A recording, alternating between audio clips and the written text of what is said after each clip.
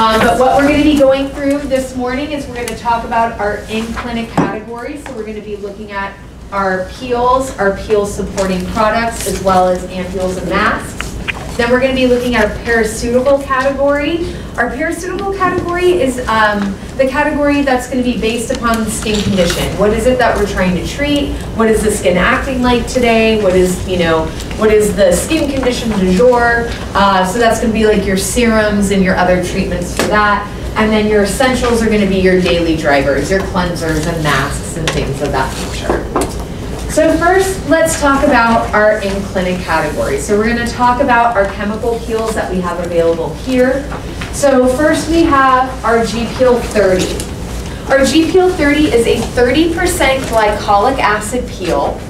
And what we know about glycolic acid is it's a very effective peel um, or, or, acid. It's an alpha hydroxy acid because of its molecular size. Glycolic acid derived from sugarcane, really teeny tiny, so it rapidly falls through the layers of the skin. So it's a quick exfoliation, but it's also very easy to over exfoliate with. I'm sure some of us maybe have had some run-ins with glycolic before. So this is why we have it in our peel category because here we're going to be timing it we're going to be neutralizing it so we can literally time how long those molecules are going to fall through the skin, how many layers it's going to melt through, and then we can stop it immediately so you don't have to worry about over exfoliation here. What I want to point out with both of these peels is this word here, nano-constructed thixotropic gel. Little bit of a mouthful, but very important when we talk about our peels because this is what makes us really unique and different than other peel lines out there. So nano construction means we've taken the molecule and we've made it even smaller. So this is really important for glycolic because remember, glycolic by nature is really, really small. So now I've made it even smaller. So what this means, instead of rapidly falling through the skin, it's now going to fly through the skin okay? Because it's so small, it drops very quickly.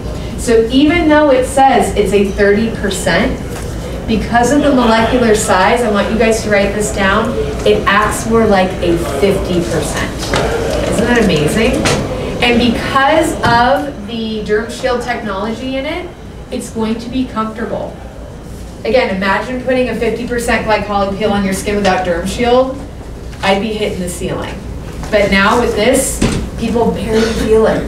They might feel a little tingle, they might feel a little zip zap, but like I said, it comes up and then it comes right down.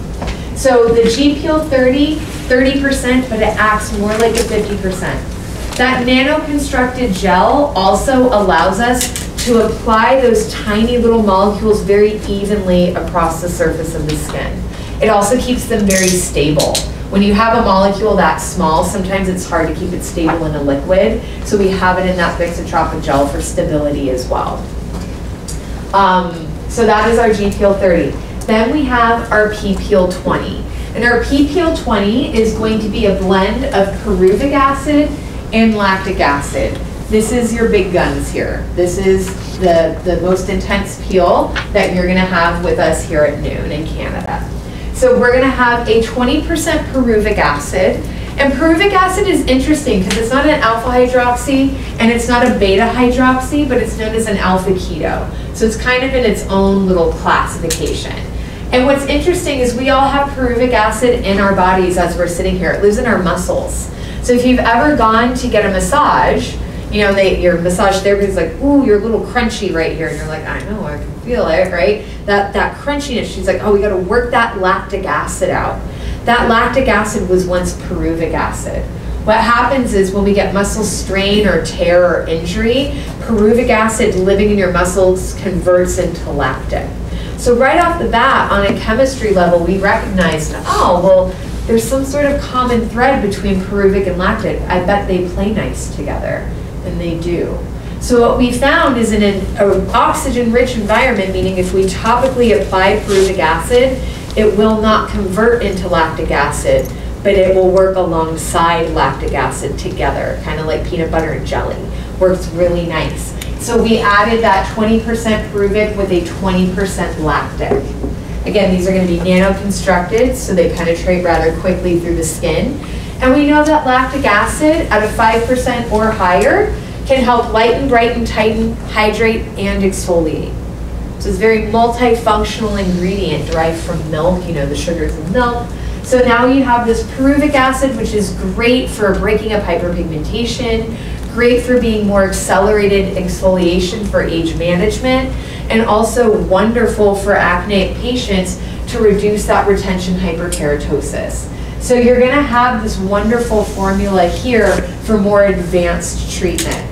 And after lunch, when we talk a little bit about our protocols and I go into doing my demo, you'll see how we could have some fun. We can do some layering. We can get a little bit more funky and fun in the treatment room. It's not like, oh, I have two peels. Uh-uh-uh.